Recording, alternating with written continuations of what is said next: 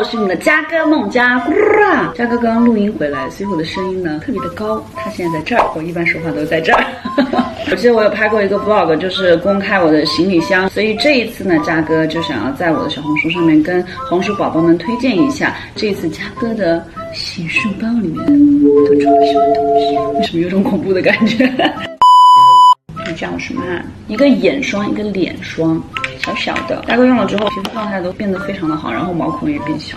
然后这个就是一个洗刷子的肥皂，然后这个是嘉哥不可缺少的头发的护理精油，然后这个也是另一款眼霜，还有我的洗面奶，然后还有就是这个李施德林的漱口水。我记得上一次嘉哥有介绍过幼恋百香果的一个口味，然后那个已经用完了，嘉哥就新入手了一个他们的最新款，然后它这个是抗敏感漱口水。嘉哥前段时间推荐了很多什么冰淇淋，如果说你夏天一到吃。比较冰的，吃一些辛辣的，就很容易引起牙龈的过敏，然后牙龈就会肿啊，会痛，然后你吃东西就啊，哦哦，好痛，细菌都会随着你的年龄增长呢，就会变得越来越脆弱，越来越敏感。我们牙齿的最外层呢，有一层牙釉质，它就是能起到保护到。它的一个作用，这款李施德林的这个抗敏感的漱口水呢，它就是起到一个保护膜的作用。你用完这个漱口水之后呢，你再去吃任何其他的一些，比如说辛辣的呀、凉的、冰的东西的话，就会减少很多。它这个漱口水里面呢，含有四大天然植物精油，它能够减少你口中的百分之九十九的细菌，所以它的清洁能力真的是一绝绝绝绝。而且它进行了一个升级了之后呢，它就有一个双重抗敏的科技，一个是抗敏。因此，它可以直接作用到你的牙神经，帮忙外界带来的那种酸痛感。比如说你吃吃冰的东西，然后突然觉得牙齿哦好酸啊，这就是它可以帮忙减少。另一个呢就是氟化物了，它是可以填补你的那个牙釉质，就是我刚刚在前面说的那个牙釉质，你们懂吗？可以增强你的牙齿的自护能力，所以相当于是内舒缓外修复的两重作用，可以从根本击退你的牙敏感。好的，我来给你们演示一下。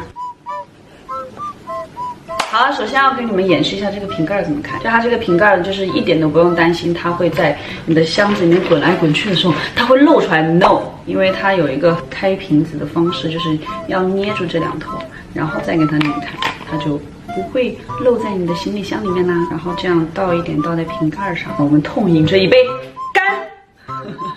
我含在嘴里之前要跟你们说一下，因为漱口水一定要在嘴巴里面含有三十秒才 OK。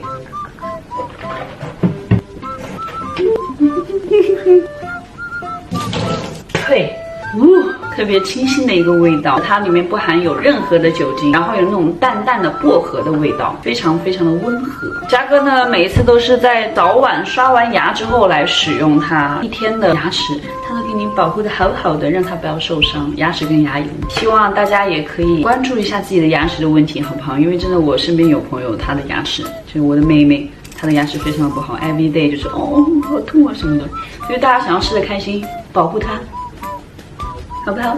然后也要记得每天都要坚持去使用。今天呢，嘉哥的这个洗漱包开包 share 就到此结束了。反正就是希望大家可以保护好自己牙龈的同时呢，又可以过一个开心的夏天，因为夏天。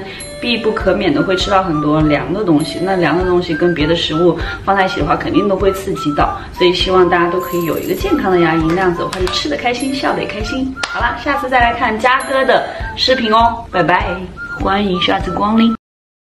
小红书。